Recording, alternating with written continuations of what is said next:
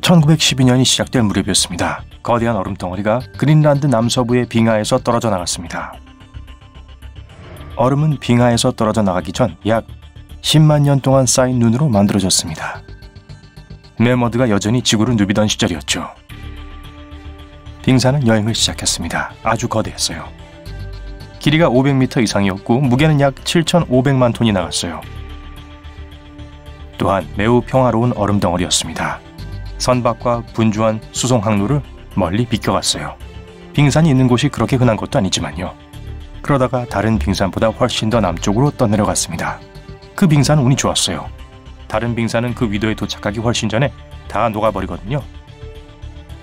그린란드의 빙하로부터 떨어져 나온 15,000에서 3만 개의 빙하 중에 오직 1%만이 대서양까지 떠내려갑니다. 그렇기 때문에 여행을 하는 이 빙산이 4월에 이미 북극권에서 2,400km 이상 떨어진 곳에 있었다는 사실은 놀랍습니다. 몇 달 동안 물에 녹았지만 이 얼음 덩어리 무게는 여전히 150만 톤에 달했습니다. 금문교보다 거의 두 배나 더 무거웠던 셈이죠. 빙산의 꼭대기는 바다 표면 위로 30m 이상 우뚝 솟아 있었습니다. 하지만 빙산이 대양 여객선 옆에 떠 있는 것을 보았더라도 무해 보였을 거예요. 언뜻 보기엔 말이죠. 그저 커다란 얼음 덩어리의 일부일 뿐이니까요. 모든 빙산의 가장 큰 부분은 항상 해수면 아래에 숨어 있습니다. 보통 물 위로 보이는 부분은 10분의 1에 지나지 않아요. 문제의 빙산도 예외는 아니었습니다. 이 빙산이 대서양에 도착하기 며칠 전 웅장한 배가 항구를 떠났습니다. 3천 명 이상의 승객과 승무원을 태운 호화 중기선이었어요. 그 당시 지금까지 만들어진 배 중 가장 큰 배였습니다. 여객선의 이름은 타이타닉이었어요. 절대 가라앉지 않을 거라고 여겨졌습니다. 여정을 시작했을 때 타이타닉은 증기선 뉴욕호와 거의 충돌할 뻔했습니다. 운 좋게도 타이타닉호는 불과 몇 미터를 두고 그 배를 간신히 피해 지나갔습니다. 여객선 갑판을 가득 메운 사람들은 모두 안도의 한숨을 내쉬었습니다. 가까운 미래에 무엇이 그들을 기다리고 있는지 전혀 알지 못했어요. 한편 그 빙산은 타이타닉호가 뉴욕으로 가는 길에 건너갈 지역에 접근하고 있었습니다. 사건은 4월 14일 타이타닉호가 뉴펀드랜드에서 약 600km 떨어진 북대서양에 있을 때 발생했습니다. 밤 11시 40분쯤 타이타닉호에서 아직 깨어있던 사람들이 불가사의하고 강력한 힘에 밀려 쓰러졌습니다.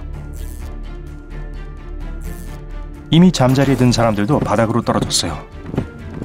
승객들과 승무원들 모두 당황스럽고 혼란스러운 비명을 질렀습니다. 소동이 시작되기 몇 분 전 빙산이 배 바로 앞에 나타났습니다. 떠들고 있던 그 빙산이었어요. 왜 선원들은 빙산을 진작 알아차리지 못했을까요? 몇 가지 이유가 있을 수 있습니다. 잠시 후에 말씀드릴게요. 어쨌든 여객선은 일단 거대한 얼음 덩어리와 충돌하고 난 후 운명이 결정되었습니다. 항로를 바꿀 수 없었고 적어도 칸중 다섯 개가 파열되었습니다.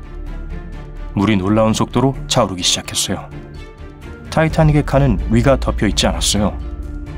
그래서 바로 옆 칸으로 물이 넘쳤고 홍수가 나기 시작했습니다. 배의 앞부분이 가라앉기 시작했고 뒷부분이 공중을 향해 수직으로 떠올랐습니다. 그리고 귀청이 터질 듯한 굉음과 함께 여객선은 두 동강이 났어요. 그 다음은 다 아실 거예요. 하지만 배에 충돌한 후 빙산에 무슨 일이 일어났는지 아는 사람은 거의 없습니다. 그러면 왜 아무도 너무 늦을 때까지 떠다니는 얼음산을 발견하지 못했는가 하는 문제로 돌아가 보겠습니다. 그 운명적인 날 있었던 일들을 추적해보죠. 오후 6시경 스미스 선장은 마침내 타이타닉의 항로를 바꾸기로 결정합니다. 그는 하루 종일 빙산 경고를 받고 있었어요. 타이타닉호는 남쪽으로 더 내려가기 시작합니다. 하지만 속도는 그대로였어요. 밤 9시 40분에 또 다른 배가 타이타닉에게 빙산으로 가득 찬 광대한 빙원에 대해 경고합니다. 불행히도 이 메시지는 그 여객선 조종실에 도착하지 않았어요. 밤 11시쯤에 또 다른 증기선이 타이타닉에 무선을 보냅니다. 그들은 얼음에 둘러싸여서 배를 멈춰야 했다고 말했어요. 이 메시지도 무시됩니다. 그동안 호화 여객선을 탄 대부분의 승객들은 이미 자신들의 방에서 잠자리에 들었어요. 밤 11시 35분 타이타닉의 조망대에 있던 선원들은 빙산을 발견했습니다. 그들은 배를 세 번 울렸는데 그 그것은 무언가 앞에 있다는 의미였습니다. 그러고 나서 그들은 조정실에 알렸습니다. 엔진이 꺼지고 방수라고 생각되었던 칸막이 문이 닫혔습니다. 불과 5분 후 이 거대한 여객선의 우현 쪽이 빙산과 충돌합니다. 우편 물질이 물로 가득 차기 시작합니다. 곧 다른 보고가 들어옵니다. 좋은 소식이 아니었어요. 적어도 다섯 개의 다른 칸이 물에 잠겼습니다. 타이타닉이 가라앉기까지 몇 시간밖에 남지 않았다는 사실이 분명해졌습니다. 밤은 유난히 고요했습니다. 달빛도 바람도 파도도 치지 않았어요. 파도가 빙산에 부딪히지 않았기 때문에 거대한 빙산을 보기가 어려웠어요. 하지만 타이타닉을 침몰시킨 건 검은 빙산이었다는 설도 있습니다. 만일 빙산을 그린다면 분명 하얗고 우뚝 솟은 얼음 덩어리를 그릴 거예요. 하지만 남극 대륙을 방문한 사람들은 빙산이 다양한 색깔로 이루어졌다고들 합니다. 마치 사탕처럼 여러 가지 색깔, 무늬 또는 줄무늬가 있을 수도 있어요. 빙산은 또한 검은색일 수도 있습니다. 이런 유별난 색깔을 띤 얼음이 형성되는 데는 두 가지 방법이 있습니다. 첫 번째는 얼음이 매우 순수한 경우입니다. 기포나 균열이 전혀 없어요. 이 경우 빛을 반사시킬 수 있는 것이 아무것도 없습니다. 그러면 빙산이 모든 것을 흡수하고 검게 보일 겁니다. 또는 분출하는 화산이 화산재로 빙하를 덮을 수 있습니다. 이런 빙하에서 떨어져 나간 얼음은 역시 어두운 색일 거예요. 전문가들은 타이타닉의 빙산이 왜 그렇게 어둡게 보였는지 진짜 이유를 알지 못합니다. 그게 정말 검은색이었는지도 확인할 수 없어요. 하지만 조망대에 있던 선원 중 한 명이 얼음이 까맸다고 증언했습니다. 다른 사람은 그것이 회색이거나 짙은 회색이라고 말했습니다. 소위 검은 빙산이라고 불리는 것에는 흥분되거나 신비스러운 점이 없습니다. 윗부분이 녹은 후에 뒤집어진 빙산은 무게 분포가 달라집니다. 만약 빙산의 아랫부분이 빛을 흡수할 만큼 충분히 매끈하다면 어둡게 보일 거예요. 게다가 보통 흰 서리가 쌓일 만큼 충분히 오랫동안 공기에 노출되지 않습니다. 하지만 이 이론은 틀렸고 빙산은 사실 검은색이 아니었다고 해보죠. 그래도 여전히 사물이 보이는 유일한 이유는 빛이 사물을 반사하기 때문입니다. 빛이 적을수록 무언가를 알아차릴 가능성이 줄어들어요. 바다 표면은 항상 달과 별빛을 반사합니다. 하지만 불규칙한 모양의 거의 수직에 가까운 빙산은 그럴 가능성이 더 적습니다. 그게 바로 빙산이 반짝이는 수면에 대비해서 거의 까맣게 보였던 이유가 되겠죠. 밤의 빙산은 레이더 없이는 발견하기 어려울 수 있습니다.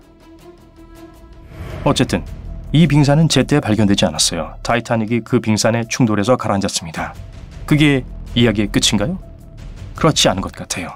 4월 15일 독일 원양 여객선 SS 프린츠 아달버트가 북대서양을 항해하고 있었습니다. 몇 시간 전에 타이타닉이 가라앉았던 곳에서 몇 킬로미터 떨어진 곳을 여행하고 있었어요. 아직 그 재난에 대해 알지 못했던 독일 선박의 책임자는 빙산을 목격했습니다. 그의 관심을 끈 것은 빙산의 아래쪽에 있던 커다란 붉은 페인트 자국이었습니다. 깜짝 놀란 그 남자는 그 사진을 찍었습니다. 그는 페인트가 지난 12시간 동안 배가 빙산에 부딪혔다는 것을 의미한다고 생각했습니다. 그 다음으로 그 악명 높은 얼음 덩어리를 보고 사진을 찍은 사람은 심해 통신 케이블을 깔던 선박의 선장이었습니다. 그 배는 타이타닉호가 침몰한 지역으로 도움을 주기 위해 이동하던 중이었죠. 선장은 나중에 자신이 본 빙산이 그 지역에서 유일한 빙산이었다고 주장했습니다. 게다가 빨간 페인트를 고려하면 연관을 짓는 게 어렵지 않았어요. 2015년 이 사진 중 하나가 경매에서 약 3,500만 원에 팔렸습니다. 여전히 전문가들은 그 사진이 정말 그 악명 높은 얼음 덩어리의 모습인지는 확신하지 못하고 있습니다. 당시 근처에 떠 있었던 죄 없는 빙산이었는지도 모르죠.